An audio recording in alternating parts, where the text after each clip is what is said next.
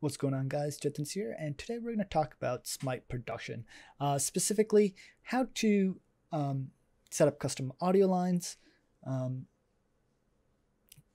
pretty much um, caster's camera. So in this case, casters get uh, the view of whatever um, the observer checks. Um, so you're pretty much controlling the camera for the casters, and pretty much how to improve quality of stream. So here's what we're going to have to do. We have a few setups we need to do. First is uh, virtual audio cable. So head over to google.com, virtual audio cable, virtual audio cable, and go ahead and click on the first link and go ahead and download uh, this. Um, you kind of need two audio cables. So in this case, I would recommend getting the two audio cable one, um, where you have A and B, and uh, this is donate, so like it's literally minimum five dollars. Kind of would I want you to get this um, because it will improve the quality of stream. Now we're gonna go ahead and set that up. So once you have it downloaded and installed, um, which I really don't need to go over, I assume everyone's downloaded installed something before. Um, go to your recording devices, find your audio cable, so A and B. Go ahead and click on Properties, listen, click on listen to device and set this to your headset. Do the same thing with your second audio cable. What we're going to end up doing is we're going to dedicate one audio cable to game, one audio cable to the casters. So assuming we're using Discord here, um, we're going to use Discord. So go ahead and open up your Discord, go to user setting, voice and video, and set this to whichever audio cable you wanted to be the caster's audio. In this case, uh, minus B, so I have it set to caster's audio B. And go ahead and open up Smite. Should have thought about this ahead, but did not. Um, we're going to set our Smite audio to A. Pretty straightforward. Two audio lines. Cool. Now let's talk about um, how we're going to do caster's feed. So this is where it requires a little bit of finesse because um, because you kind of do need a beefy computer. In my case, I will be using um, a Ryzen 2700X and uh, RTX 2080. Um, yeah. So let's go ahead and uh, set this audio cable up real quick. So like I was saying, we need to do a caster's feed, um, and we need to do one for do uh, and do a recording. So I'm gonna go over how to record versus live stream. So in my setup, I usually do recording because um, it's much easier to manage. Um, it's nicer to have. So let's go over the OBS settings. So first of all, you need a mixer account because we're, we're literally going to abuse the mixer FTL. Um, this is for the recording setup.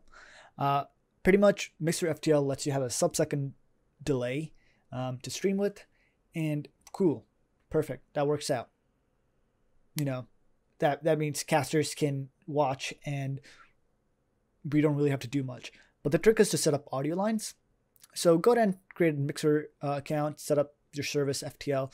Not really going to go over it. I assume you know how to stream and set up basic this. Next is output. So in my case, what I did was I dedicated my graphics card to streaming for the caster's quality of uh, caster's feed, sorry, and my recording to my CPU so it can record the game and the caster's audio. So as you notice, um, my caster uh, streaming audio track is four. Keep that in mind because four is dedicated to just game audio for me on uh, my audio setup that I'll go over shortly. And on recording, I have it set to, uh, I have it record all four tracks and make sure to use MKV format because um, it separates audio tracks and for recording, this is generally nicer, just in case you have any issues. And I'm using a higher bitrate record because quality. Um, this quality versus this quality is going to be different because it's using my processor and I'm dedicating more bitrate to it pretty much. So let's talk about um, audio channels, right? I'm going to go ahead and create, for example, I'm going to create an all audio. So in this case, I have Caster's audio. I have game audio, and I have I have music. Um, yeah, so these are three audio tracks. So one, we don't want our casters to listen to music when we're in break. There's no point in that. We just want them to hear um, the game. So let me go ahead and go to the advanced audio property and let's look at the tracks. So in my audio track one, I have all the audio recording on one track. On two, I have just the game audio.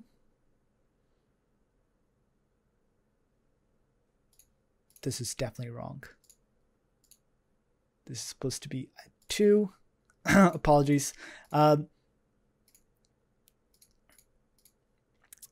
game audio at two, caster's audio at three, and music at four.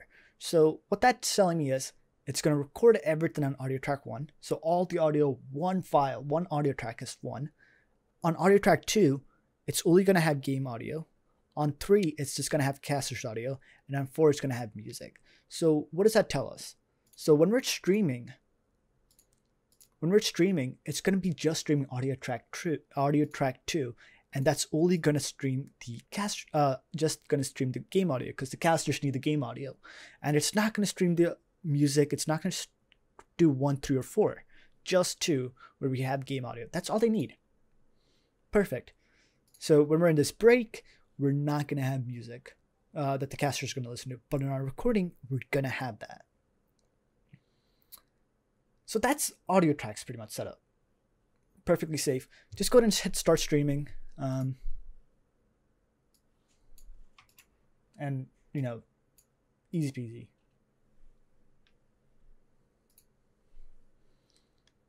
So let me go ahead and double check. Cool. Let's go ahead and start streaming. And I want to show this to you guys. Since I'm using FTL, and we don't want the mobile version.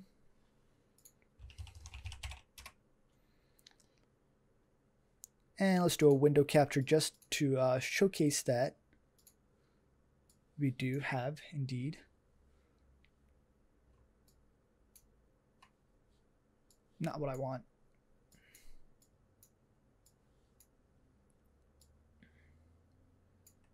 And if the stream wants to go live, that would be fantastic.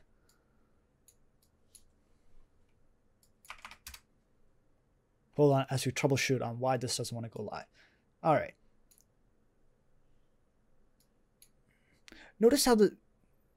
That's not right either.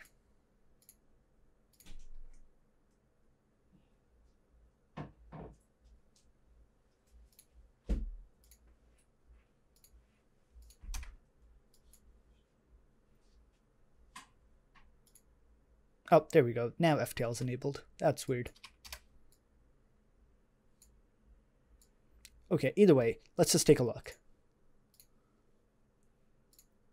I guess it took a second for FTL to get enabled.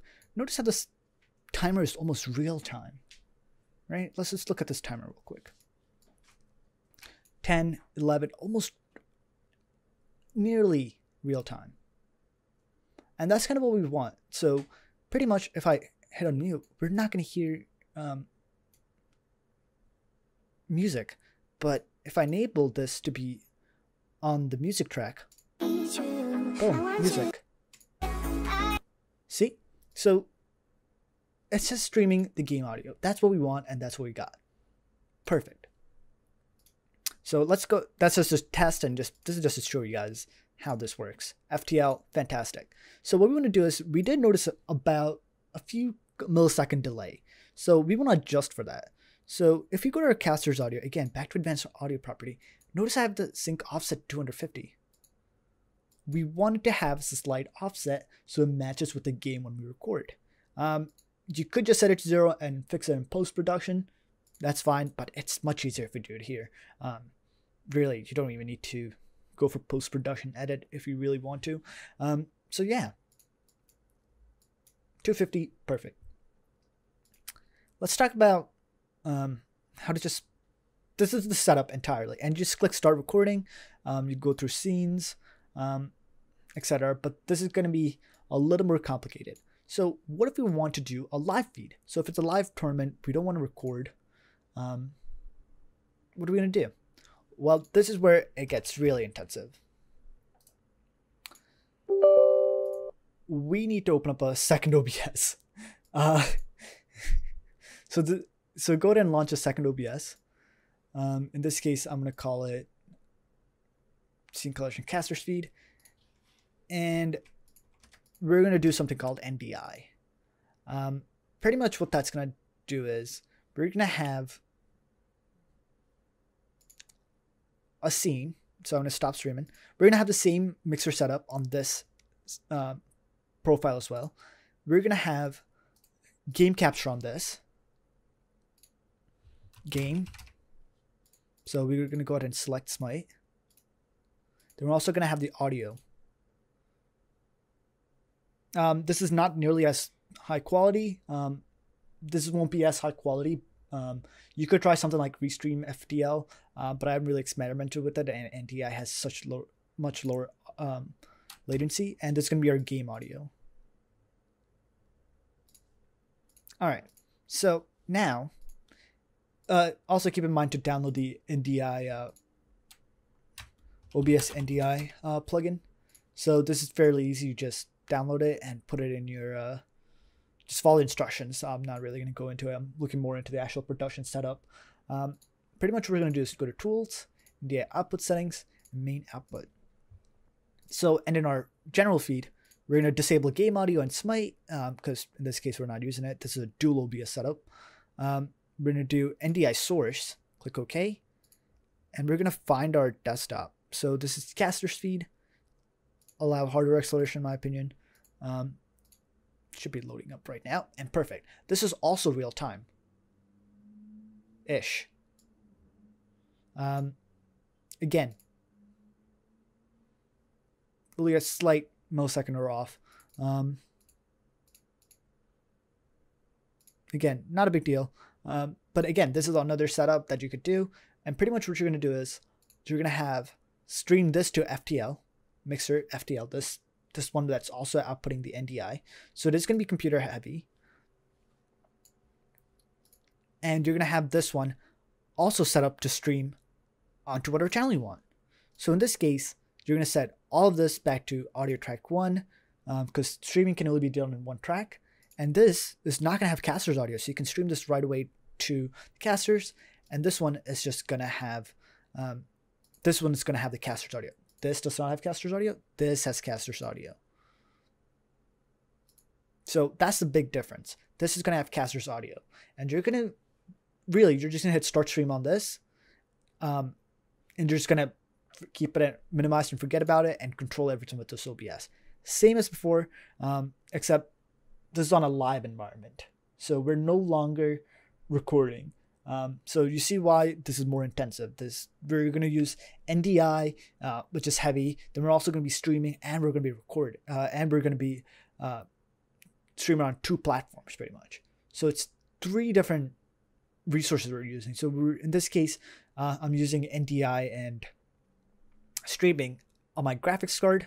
So this is going to have my NVENC setup and I'm going to be streaming with my CPU. So, like I said, this is really computer and internet intensive. So, um, if you don't have the setup for it, you can't do it. And I would really recommend just doing with the recording because you're really streaming and recording. But again, um, so you should be able to stream at least a little bit um, if you have small internet and still be able to record if you have a beefy computer. Um, you can use both uh, GPU and VNC to record. Um, but again, the usage is going to be high. Um, it's just I'm already at 37, 35%, and if I had start streaming, that's going to go higher. So we need to be, like I said, really intensive, and that's what we're worried about. So yeah, that is a setup. But now going back to this, where we're going to ignore that, go back to all that. Let's talk about quality of how to have a nice mic stream. We want to have a nice background, you know, add some animation loops. Um, these are pretty simple. You can uh, literally add filters. In this case, I have black and white filter on this generic video. Our overlays are slightly transparent, so the video kind of bleeds through. And we have a custom picks and ban screen. So this is something I do provide.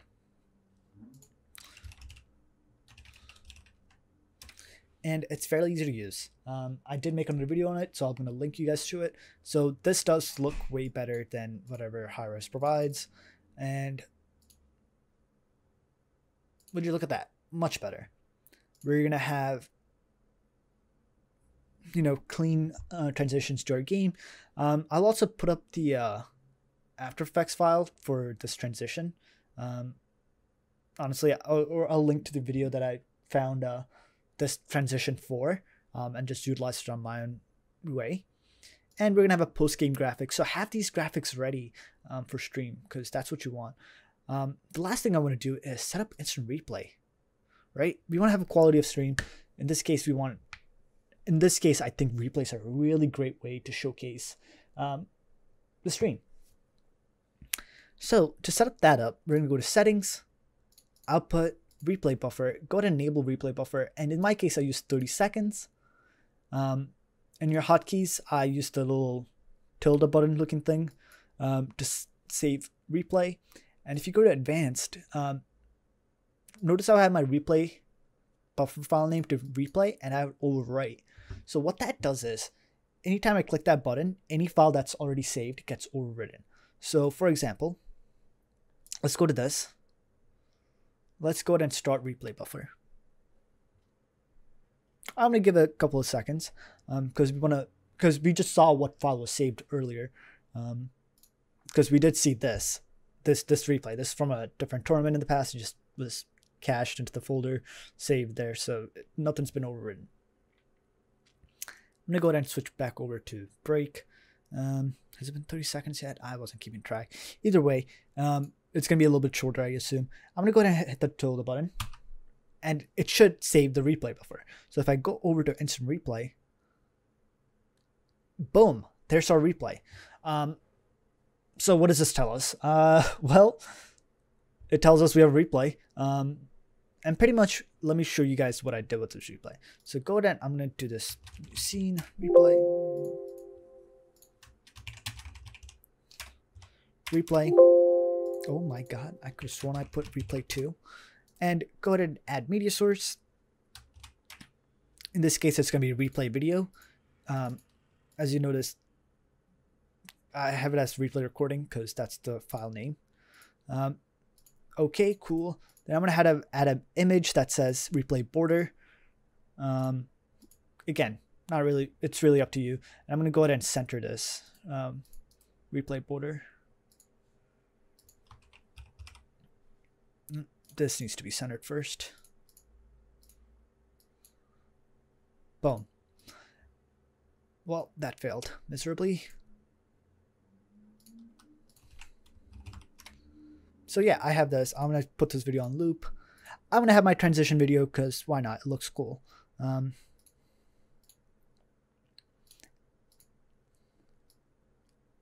I'm going to put it right underneath the border. And I'm to also have this on loop. I'm to lower speed a bit because notice how the video was froze for a second then played. So what we want to do now is just crop it. If you hold down Alt, you can easily crop this, if you guys didn't know. Oh, I did not press Alt. And the reason I'm going with square is uh, because wide widescreen 1920 by 1080 or 16 to 9 aspect ratio causes a problem where it takes too much of the screen size and it's hard to see the replay. So we just want to see the action. So I'm going to go ahead and group this and I'm just going to shrink it. Um, and this is pretty much what I did um, with the replay. Um, and I would add a scene that is my game scene. And this is pretty much the thing. Oh, and if you're wondering how I did motion, again, another cool thing. Uh, go to scene, filters, and there's a plugin called Motion Filter. OBS Motion uh, plugin. Motion effect, download the same thing, like I said. Um, and let's just go over it. In my case, I would add a motion and I would have select the group because that's what the group is called. Um, I would have it on scene switch and I would grab my destination. Destination grab.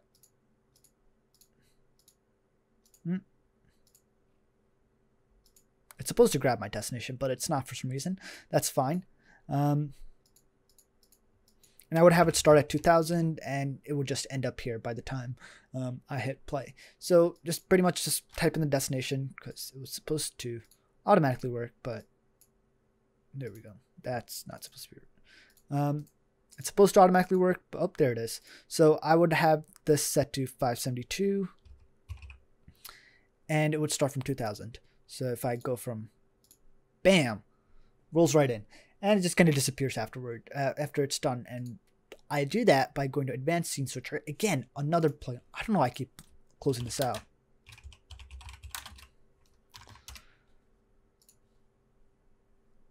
There we go advanced scene switcher go ahead and download that as well. Um, what i have to do here is my scene sequence i have to go from instant replay to game 2 because i do have my game 2 as a custom transition um, after 25 seconds. Keep in mind our files are like 20, uh, 30 seconds, but because how recording works, it's, you know, we're having this and file played. So I have all my transition override here as Stinger, including game. Game, um, but game two, it's the same thing as game, but the transition is cut because we don't want to go from this to this because we have a transition playing and I don't want to deal with that. So I have it automatically switch over to um, game two after 25 seconds. And it's fairly easy. So it just does this, then goes to game two where the transition is cut. So we don't have a whole new stinger play pretty much. And that's about it. I mean, this is how you have a quality stream. Um, so we have a lot of setups here. Um, so I went over uh, recording and giving a caster's feed. Caster's feed is really important because, like I said, casters don't control controlling their own camera distracts them, um, and it's difficult to learn being the observer. Um, there's going to be a video out on Spectator regarding that, so be sure to kind of tune in because it is pretty cool. Um, we talked about picks and bans, custom picks and bans screen. Uh, I have another video on it. Uh, it's a little outdated, but it's fairly simple. Um, adjust scores or change to verses. Really simple. We talked about custom audio lines. So we have clear audio. Um, so we don't really bother the casters but by listening to their own cast um, while the stream is going on. Um, so yeah, we covered all this. This is all the cool stuff. Um, thank you guys for tuning in to this video on pretty much this crazy OBS setup that does require you to have uh, decent internet and kind of a beefy computer. But again, this is doable even without a super beefy computer um, to stream and record, even, including just using the same encoder if you have a really good graphics card. So yeah, experiment with this. Um, this is a crazy setup. The this is by far my favorite setup because casters, like I said, don't have control their camera. Um, you have clean audio lines. Um, using Discord, you know, it's kind of safe to use. So yeah, um, thanks for watching. I shall see you guys later.